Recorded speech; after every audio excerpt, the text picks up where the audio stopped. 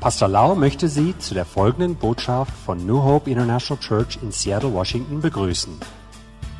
Hier ist Pastor Laus vom Heiligen Geist erfüllte Lehre, die Ihr Leben mit Liebe, Hoffnung und Frieden in Jesus Christus ändern wird. Und nun Pastor Lau. Last night we were learning about the grace of God. Gestern Nacht oder gestern Abend hatten wir über die ähm, Gnade Gottes gelernt. Last night we learned that God gave us a measure of grace to every Christian. Gestern haben wir erfahren, dass äh, Gott jedem, äh, zu jedem äh, zu einem bestimmten Maß gnädig ist. Because of the grace of God, we become who we are today, right now. Aufgrund der Gnade Gottes sind wir heute der, den, den wir sein sollten. When people told me that they like my preaching in the website, I never thought even one minute that because I'm a great guy. Und wenn mir äh, auf, der, auf meiner Webseite die Leute äh, sich äh, über eine- meine Predigt lobten oder meine Predigt lobten, habe ich nie gedacht, äh, sie mögen es, weil ich ein toller Mensch bin. Because of the grace of God, I believe. I am who I am today because of Him. Ähm, es ist aufgrund der Gnade Gottes, warum ich heute den bin, den ich heute bin. Because we know that God has given the grace to become who we are now, we should not waste the grace of God away. Weil wir jetzt wissen, dass aufgrund der Gnade Gottes wir heute den sind, den wir jetzt sind, sollten wir unsere Gnade oder die Gnade Gottes nicht verschwenden. We should make the most out of the grace before we die and leave this world. Ähm, wir sollten die Gnade Gottes effektiv nutzen, also äh, äh, dafür Nutzen finden. We should let the grace of God move in our life that the purpose of God in our life will be fulfilled.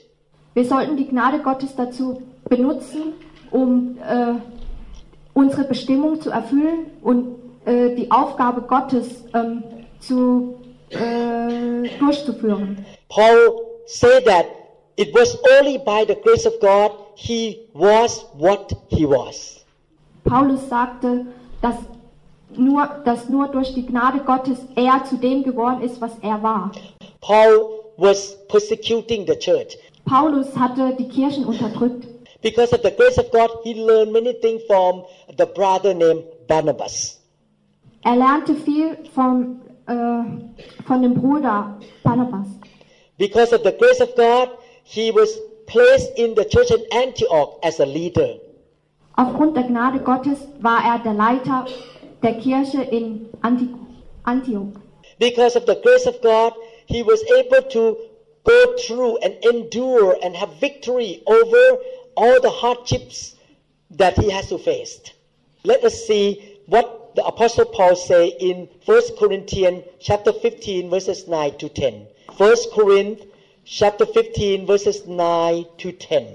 Ähm, lass, lass uns sehen, was Paulus sagte im, äh, im 1. Korintherbrief, Kapitel 15, Vers 9 bis, 9 bis 10. Denn ich bin der geringste der Apostel und eigentlich nicht wert, Apostel genannt zu werden, weil ich die Gemeinde Gottes verfolgt habe. Doch was immer ich jetzt bin, das bin ich durch die Gnade Gottes. Und seine Gnade blieb in mir, nicht ohne Wirkung, denn ich habe härter gearbeitet als alle anderen Apostel. Doch nicht, doch nicht habe ich gearbeitet, sondern Gott, der durch seine Gnade durch mich wirkte. Paul said that he could not be an apostle without the grace of God. Paulus sagte, dass er kein Apostel geworden wäre ohne die Gnade Gottes. The sister who translate the language into German language could not do it without the grace of God. Ohne die Gnade Gottes könnte ich das hier nicht auf Deutsch äh, übersetzen. By the grace of God, we can become who we are right now. Aufgrund der Gnade Gottes können wir das sein, was wir jetzt sind. He said in verse 10 that his grace to me was not without effect. Und Paulus sagte in Vers 10, dass die Gnade nicht ohne Wirkung in ihm blieb. Paul said, because I value the grace of God, I work hard than any other people. Und aufgrund dessen habe ich härter gearbeitet als die anderen Apostel. In year 1998, Ähm, in dem Jahr, im, äh, ungefähr im Jahre 1998. before that year 1998, I was not a very good preacher. Vor 1998 war ich kein guter Prediger. In year 1998, the fire of God touched my tongue, and the Lord spoke to me, from now on, your preaching will never be the same. Aber im Jahre 1998 hat das Feuer mich, äh, hat das Feuer meine Zunge berührt und sagte, dass das meine Predigt verändern oder die Art meiner, meiner Predigt verändern wird. And God told me, don't sell your teaching, just distribute out in the world for free of charge. Und Gott sagte zu mir, ich sollte meine Predigt nicht verkaufen, sondern einfach so austeilen. At that time, I did not understand why God said that to me. Zu der Zeit habe ich nicht verstanden, warum Gott das zu mir gesagt hatte. After that day, I noticed that my preaching was changed and even have the power to touch people in their own home. Aber ich hatte gemerkt, dass meine Predigt sich verändert hatte oder die Art, wie ich predige, verändert hatte, weil ich sogar, dass es so kräftig ist oder so kraftvoll ist, dass ich andere Leute in einer anderen Stadt berührt habe. I have three choices after I received this grace. Nachdem ich diese Gnade erhalten habe, habe ich ähm, drei äh, äh, Aus, Auswahl. The first choice is to use this grace to make money for myself. Erstens, ich kann diese Gnade benutzen, um Geld zu verdienen. The second choice, I just put this grace under the ground, bury it, and do nothing about it. Und zweitens, ich kann das einfach unter der Erde vergraben und es vergessen. The third choice is to work hard and will not let the grace of God that He gave to me go in vain.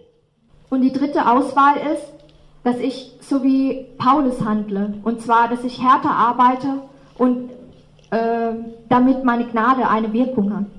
God may give you the grace that you are such an anointed singer, and every time you sing, the anointing come down into the meeting. Gott möge vielleicht ihnen die Gabe des, äh, oder die Gnade des Singens geben. Sie singen so schön, dass äh, die Salbung auf sie hinab runterkommt. When you may have the grace of being administrator and organizer, so the pastor gives a job to you, she or he doesn't have to worry. You just think in detail: one, 1.1, 1.2, 2, 2.1, 2.3. You th- think in detail. Gott möge ihnen vielleicht die Gnade des Organisierens oder der Verwaltung geben. Das heißt, der, die Leitung der Kirche oder der Pastor in der Kirche muss nicht mehr nachdenken, sondern sie denken für ihn nach und organisieren alles. Zum Beispiel, das ist 0,1, 0,2 und so weiter. God give you grace that every business you touch, oh, money come in, money come in. Every time you massage somebody, they give you more tip, give you more money. Vielleicht haben sie auch die Gabe, dass wenn sie etwas berühren, zu Geld wird. Das heißt, wenn sie jemanden massieren, dann bekommen sie mehr äh, Trinkgeld. God give you the grace to make a lot of money every month. God give grace to my daughter to be born in the family of a neurosurgeon so that she can enjoy some money. Gott gibt meiner Tochter die Gnade, die Tochter eines Neurochirurgen zu sein, um ihr Geld zu geben, um ja auszugeben. The question is, what do you do with the grace that God has given to you? Die Frage ist nur, was machen Sie mit der Gnade Gottes? Do you use that grace to just bless your flesh and live for yourself selfishly? Benutzen Sie die Gnade dazu, um sich selbst zu erfüllen, ego das egoistisch zu benutzen? Or do you just bury that grace in the ground, leave it alone, and just live day by day? You don't care. Oder vergraben Sie Ihre Gnade einfach im, in, in, unter der Erde und leben Tag für Tag oder in den Tag hinein? Or do you act like Paul, or Apostle Paul, that you allow the grace of God to produce more fruit and more, become more effective for the kingdom of God?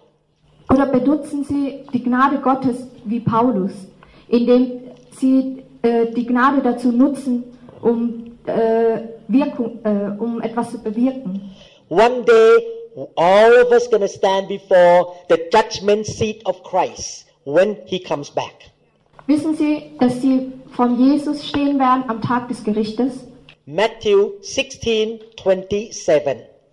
Matthäus Kapitel 16, 26. Denn der Menschensohn wird mit seinen Engeln in der Herrlichkeit seines Vaters kommen und die Menschen nach ihrem Tun richten. On that day, when you stand before Jesus, He's to judge you according to how you treat and use the grace that He has given to you. Am Tag des Gerichtes wird äh, Jesus über sie richten und, sa und sagen, was haben, oder ja, um, und richten, was sie aus der, ihrer Gnade gemacht haben. The Bible say that we read in the book of Luke, the Bible say that from everyone who has been given much, much will be demanded. Erinnern Sie sich an gestern, als wir aus der Bibel gelesen haben im Lukas, dass wenn wir mehr Gnade bekommen, umso mehr Verantwortung wir haben. What does it mean? It means that after He gave you the grace, He doesn't want you to just waste the grace away. Und was bedeutet das? Das bedeutet, dass wenn er ihnen die Gnade gibt, sollen sie es nicht verschwenden. How do you respond to the grace of God? Wie reagieren sie auf die Gnade Gottes? Tonight, I would like to encourage you to go home and think about what kind of grace that He has given to you. Heute Nacht möchte ich Sie dazu ermutigen, über Ihre Gnade nachzudenken What are you going to do with the grace for the kingdom of God? und, was, und zu überlegen, was Sie mit der Gnade Gottes für das Königreich Gottes tun werden. Don't compare yourself with other people. Just examine your own life. Vergleichen Sie sich nicht mit anderen Leuten, sondern überprüfen Sie sich selbst oder überlegen selbst über sich selbst nach. The Bible teaches that don't miss the grace of God. Die Bibel lehrt uns, die Gnade Gottes nicht zu vermissen oder zu verpassen. There is one passage in the Bible that the Thai Bible did not complete the translation in, in Hebrew chapter 12, 14 to 17. Hebrews 12, 14 to 17. Im Hebräer Kapitel 12, 14 bis 17. Versucht mit allen Menschen in Frieden zu leben und bemüht euch, ein heiliges Leben, Leben nach dem Willen Gottes zu führen. Denn wer nicht heilig ist, wird dem Herrn nicht sehen. Achtet aufeinander, damit niemand die Gnade Gottes versäumt. Seht zu, dass keine bittere Wurzel unter euch Fuß fassen kann, denn sonst wird sie euch zur Last werden und viele durch ihr Gift bewerben, äh, verderben. Sorgt dafür, dass niemand wie Esau ein unzüchtiges oder gottloses Leben führt. Er verkaufte sein Geburtsrecht als Ältester für, ein, für eine einzige Mahlzeit. Und als er dann später den Segen seines Vaters wollte, wurde er abgewiesen. Da war es zu spät zur Umkehr, obwohl er bittere Tränen vergoss. In the Thai Bible, it just says that don't let the root of bitterness spring up in you. But they miss the whole sentence in the Thai Bible that don't fail the grace of God or don't miss the grace of God. Die thailändische äh, Bibel versäumt es, äh, de- den, Ver den 15. Vers oder einen ganzen Satz aus, haben, haben den ganzen Satz ausgelassen und zwar, dass man die Gnade Gottes nicht versäumen soll. The Bible warns us that we know we have the grace. We should not miss, we should not fail the grace of God. Die Bibel lehrt uns, dass wir ähm, die Gnade Gottes nicht versäumen sollen und auch nicht verschwenden sollten. Then the Bible talk about root of bitterness. Ähm, und die Bibel erzählte oder in der Bibel steht es über die bittere Wurzel. What causes us to miss the grace and don't use the grace of God to the fullness? The Bible used the word root. Der Grund, warum wir die Gnade Gottes versäumen, äh, nennt die Bibel bittere Wurzel. This word root come from the Old Testament, Deuteronomy chapter 29, verse 18. Das, äh, das Wort bittere Wurzel oder Wurzel kommt aus dem Alten Testament im äh, 1. Mose, ใช่เฉลยธรรมบัญญัติ äh, 5. Mose ähm, 29, 18. So, im 5. Mose, Kapitel 29, Vers 18 steht es drinnen. Niemand, der diese Warnung hört, soll sich einreden. Es wird mir schon nicht schaden, wenn ich die Gebote Gottes nicht beachte. Das würde seinen Untergang bedeuten. ภาษาเยอรมันมีคำว่ารากไหมฮะ ไม่มีค่ะ โอ้แปลไม่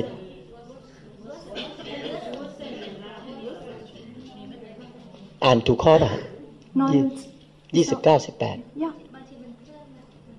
มันเคลื่อนมั้งยะ29 ก่อนอือฮึ ist nicht 29 17 ah อ่า it's it's in the um uh, in German it's uh, the verse before อ๋อโอเค go ahead and read 17 ค่ะ เอ่อยี่สิบเก้าสิบเจ็ดค่ะเอ่อ in der deutschen Bibel steht es im äh, 5. Mose, Kapitel 29, Vers 17. Okay. Kein Mann. Kein Mann. Ja. Kein Mann, keine Frau, keine Familie und kein Stamm von euch soll sich mehr vom Herrn, unserem Gott, abwenden und die Götter dieser fremden Völker verehren, damit keine Wurzel unter euch bittere und giftige Früchte trägt. In the Old Testament talk about root that lead to something bitter. Im Alten Testament wird von der Wurzel geredet, die zum ähm, zum Bitteren oder zum Giftigen führt. this scripture talk about a person or a man or a woman who love other things in the world more than God we call idolatry Ähm, und, und in diesem Ver- Vers wird davon gesprochen, dass man etwas liebt, äh, dass man etwas mehr liebt als Gott und das nennt man Ideologie. the book of Hebrew talk about a man who has this root his name is Esau Hebrew บทที่ 12 บอกว่า ยกตัวอย่างถึงคนคนหนึ่งที่มีรากอันนี้ก็คือเอสาว Und im Hebräerbrief, äh, im Hebräerbrief stand drinne, dass ähm, der Mann Esau diese Wurzel hatte. Esau should seek the kingdom first by obtaining the firstborn right. Esau sollte eigentlich zuerst ähm, seine, äh, den Königreich äh, aufsuchen oder die Gnade aufsuchen und es war das Recht der Erstgeburt. But Esau loved the soup more than the kingdom of God. Aber Esau liebte ähm, die Mahlzeit mehr als Gott. Maybe you have a, a lot of grace that you can do for God, but a handsome young man come to you and want to be your boyfriend.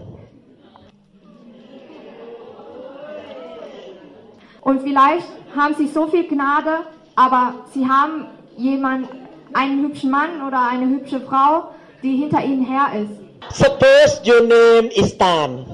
Angenommen, ihr Name ist Dan. That handsome young man say to you, Dan, don't go to the camp, don't go to translate, just stay with me for the party, let's have fun. Und ähm, der junge Mann sagt äh, zu Dan, Dan,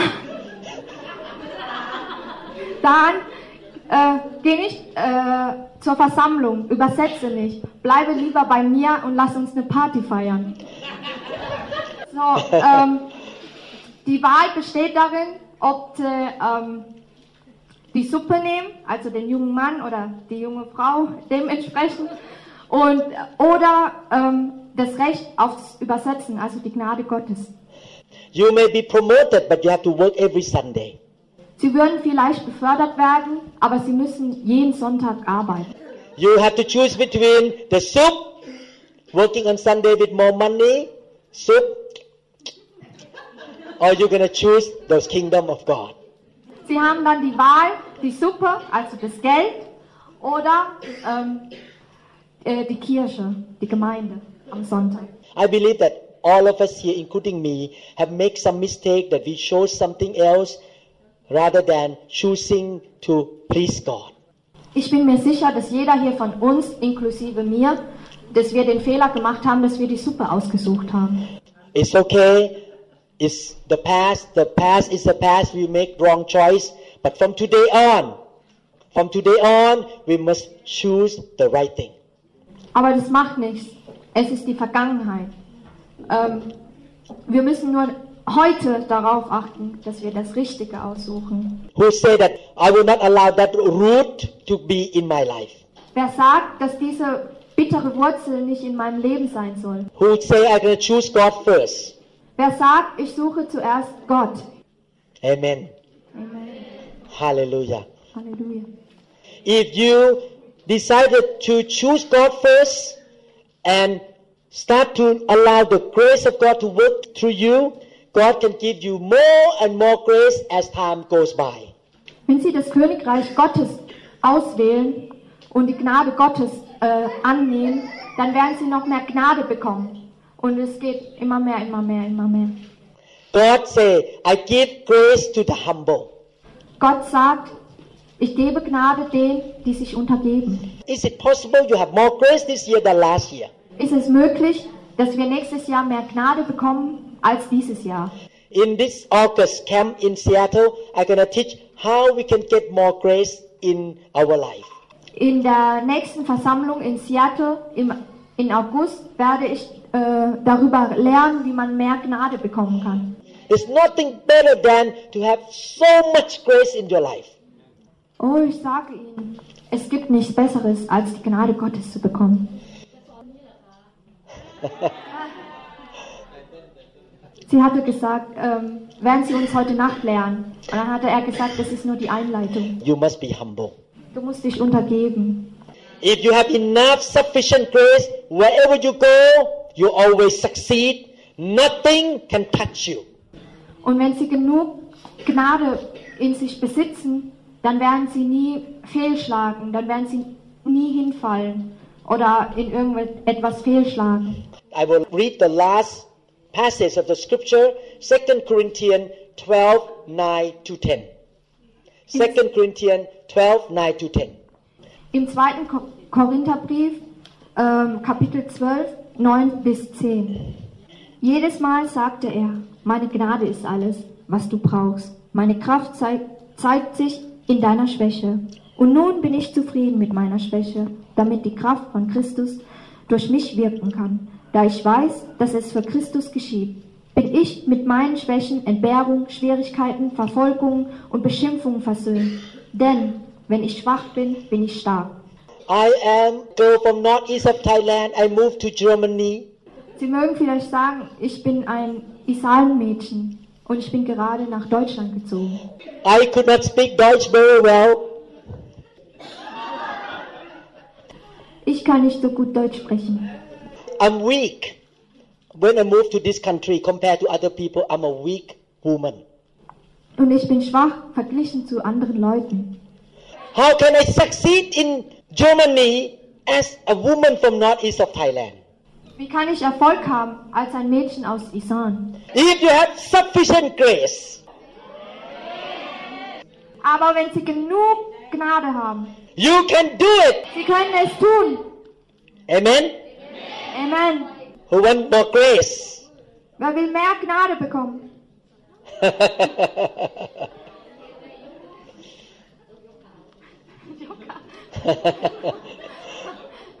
Do you know what I like about revival? Wissen Sie, warum ich die Wiederbelebung liebe? Do you know why church people who are in the revival church tend to be more prosperous and receive more grace from God? Wissen Sie, warum die Kirche mit der Wiederbelebung oder mit dem Heiligen Geist äh, mehr Erfolg haben oder reicher sind? You have two choices.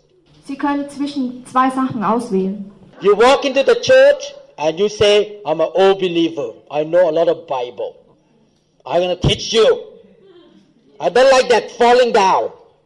ท่านเดินเข้ามาในโบสถ์ผมเป็นคริสเตียนเก่า ผมรู้พระคัมภีร์เยอะ เดี๋ยวจะสอนให้ ขอนั่งเตะท่าหน่อย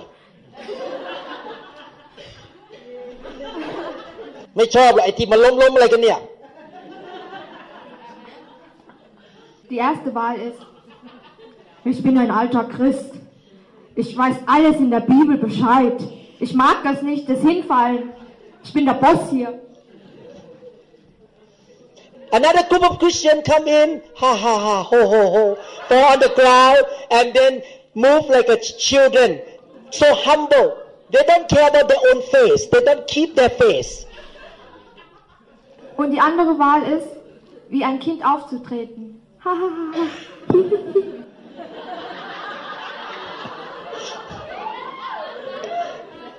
What kind of Christian God gonna give more grace? Was denken, wa- was denken Sie, ähm, welch, welchen Christ äh, Gott mehr Gnade geben wird? Dem Alten oder dem, der...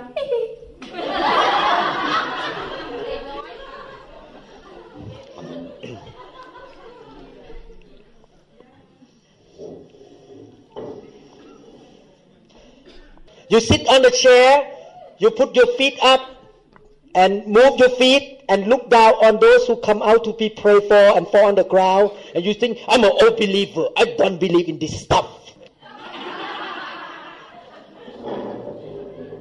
Sie setzen sich hin und tun und schauen zu, wie den Leuten die Hand aufgelegt wird und wie sie hinfallen und sagen sich, ich bin ein alter Christ. So ein Schwachsinn. Outside, outwardly, you may not act that way, but inside you, you act, you think that way. You are prideful. Direkt würden sie sich nicht so aufführen, aber innerlich führen sie sich so auf. But another person run out. For me, touch me.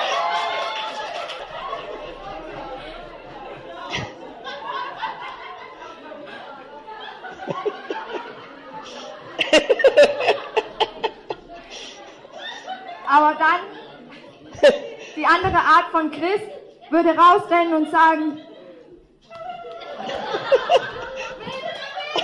ich will Gnade!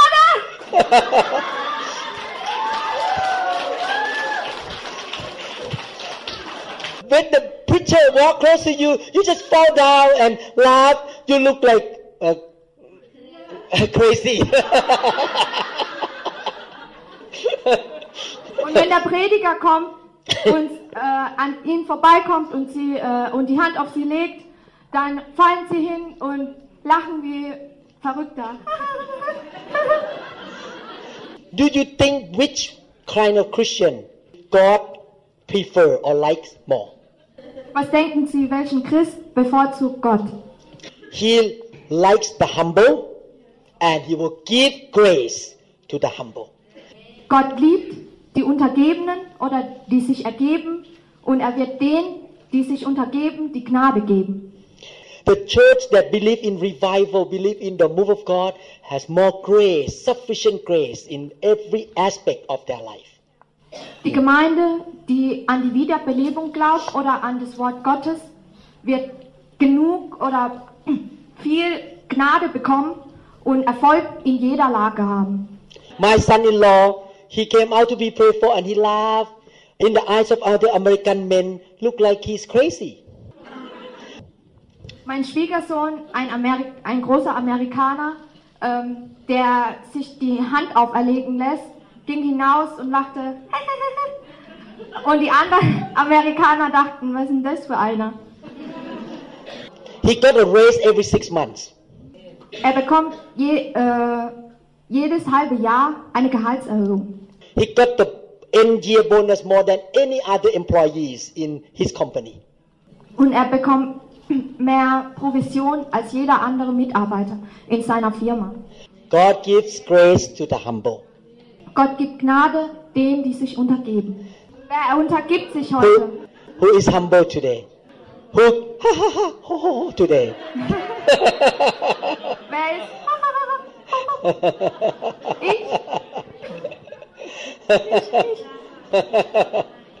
Hallelujah. Tonight, may the Spirit of grace pour His grace upon you. Möge Gott heute Nacht die Gnade auf sie regnen lassen. The grace comes from the Holy Spirit. Die Gnade Gottes kommt vom Heiligen Geist. The English Bible called the Holy Spirit, the, one of the name of the Spirit is the Spirit of grace.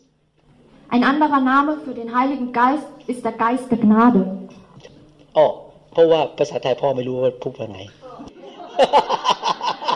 The spirit of grace means the spirit who bring grace to our life Die, ähm, äh, der, Geist, der Geist der Gnade bringt die Gnade zu uns.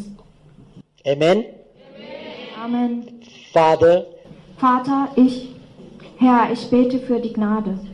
may the Lord give us more increased grace touch our life tonight Möge Gott mir mehr Gnade geben in meinem Leben.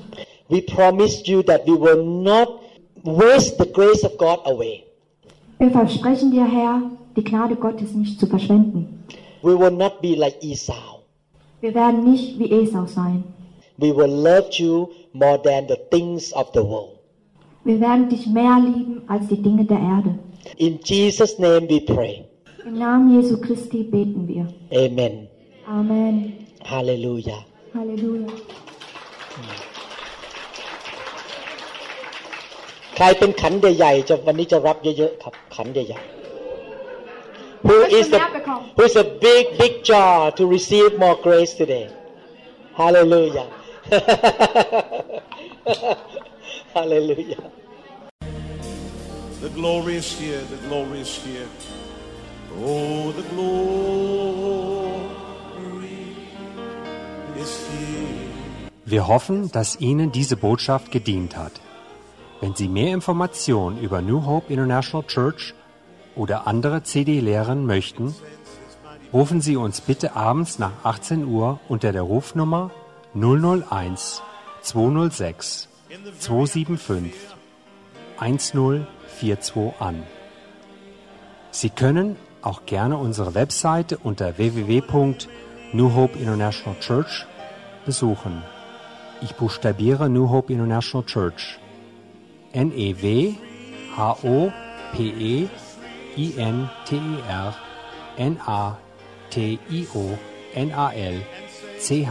N-A-T-I-O-N-A-L-C-H-U-R-C-H.com. Vielen Dank. I take it now. I take forget about everything else and focus in on Him right now. Oh, the glory is here. Yes, God's glory. Yes, God's glory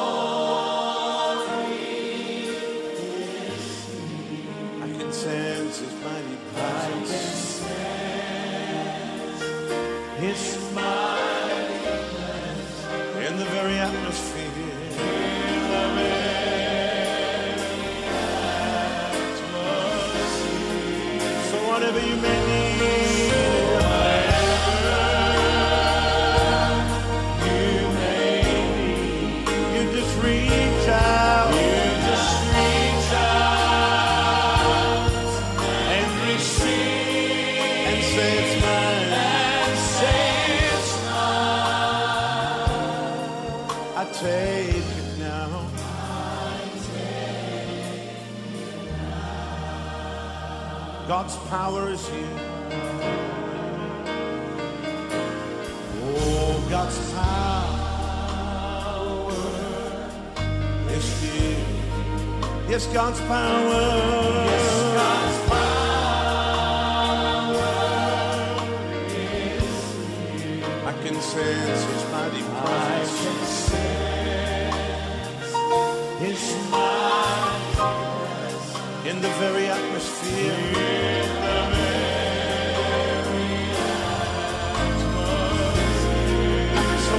very